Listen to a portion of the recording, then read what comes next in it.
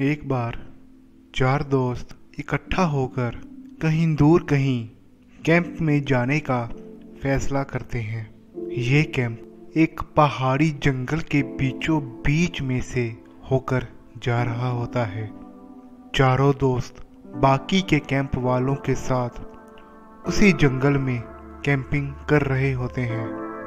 एक रात को चारों दोस्त आपस में बैठकर बातें कर रहे होते हैं कि अगर उनके पास कोई एक ना एक शक्ति होती, अगर होती तो वो क्या होती? तो इस बारे में वो बातें करने लग जाते हैं।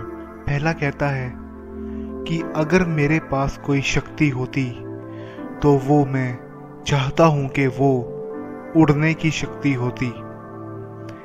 एक पल में उड़कर मैं कहीं भी जा सकता था। कोई रोकने वाला नहीं, कोई टोकने वाला नहीं। बस एक पल में उड़कर जहाँ, एक पल में उड़कर वहाँ, एक पल में इस पहाड़ी पर, एक पल में उस पहाड़ी पर। इसी में दूसरा दोस्त कहता है कि मैं चाहता हूँ कि मेरे पास तेज दौड़ने की शक्ति होती। एक मिनट में तीन किलोमीटर, एक मिनट में छः किलोमीटर बस मैं भागता जाता भागता जाता, इस पहाड़ी से उस पहाड़ी तक, माउंट एवरेस्ट तक मैं भाग कर चला जाता। क्या शक्ति होती? तीसरा कहता है कि मैं चाहता हूँ कि मेरे पास दूरबीन वाली आँखें होती। मेरी आँखों में दूरबीन वाली शक्ति होती। यहाँ बैठे बैठे मैं अपनी घर की तरफ़ देख लेता। यहाँ बैठे बैठे मैं दूसरे देश में क्या हो रहा है वो देख लेता। यहाँ बैठे बैठे दूर हज़ार किलोमीटर में क्या हो रहा है वो देख लेता। और चौथा कहता है कि मेरे पास अगर कोई शक्ति होती तो मैं चाहता हूँ कि वो गायब होने की शक्ति होती। मैं गायब हो जाता, मुझे कोई ना देख सकता। और मैं सभी को देखता रहता, मैं चाहता हूँ कि मेरे पास ऐसी शक्ति हो। और बातें करते करते ये चारों दोस्त सो जाते हैं। अगली सुबह कैंप फिर से चलना शुरू हो जाता है। ये चारों भी आपस में बातें करते हुए कैंप के साथ जा रहे हैं, लेकिन ये चारों अपनी बातों में इतना खो जाते हैं कि ये कैंप से दूर हो जाते हैं। कैंप किसी दूसरे रास्ते पर निकल जाता है और ये बातें करते करते किसी दूसरे रास्ते पर आ जाते हैं। अब इन्हें वापस जाने का रास्ता नहीं मिल रहा है। ये जंगल के बीचों बीच भटक गए हैं। वापस जाना चाहते हैं, लेकिन रास्ता नहीं है।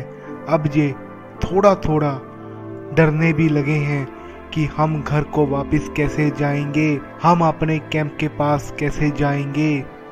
कैसे करेंगे ये सब?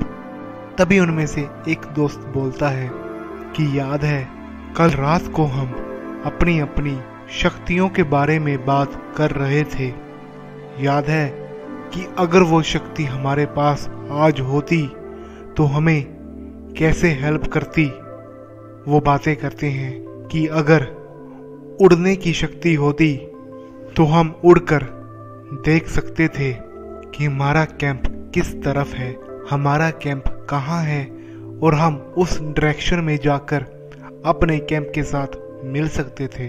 दूसरा कहता है कि अगर मेरे पास वो तेज दौड़ने वाली शक्ति होती तो मैं एक डायरेक्शन में तेज दौड़कर देख सकता था, क्या ये रास्ता सही है?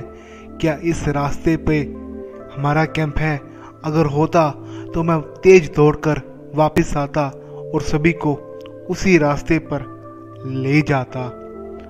वो बातें करते हैं कि अगर दूर देखने वाली, दूरबीन वाली आँखें होती तो भी हम किसी एक डायरेक्शन में दूर तक देख सकते थे। क्या इस डायरेक्शन में हमारा कैंप है? क्या ये डायरेक्शन सही है? अगर होती तो हम उस डायरेक्शन में जाकर अपने कैंप के साथ मिल सकते थे। लेकिन अगर हमारे पास ये गायब होने वाली शक्ति हो तो क्या हम इससे बच सकते थे? क्या गायब होने वाली शक्ति से हम इस जंगल से बाहर आ सकते थे? गायब होकर क्या हम हमारी मुसीबत से बचा सकती है? दोस्तों बताएँ, क्या गायब होकर हम उस जंगल से बचकर बाहर आ सकते हैं? अगर आ सकते हैं तो बताएँ कि गायब होकर हम उस जंगल से बाहर कैसे आ सकते हैं?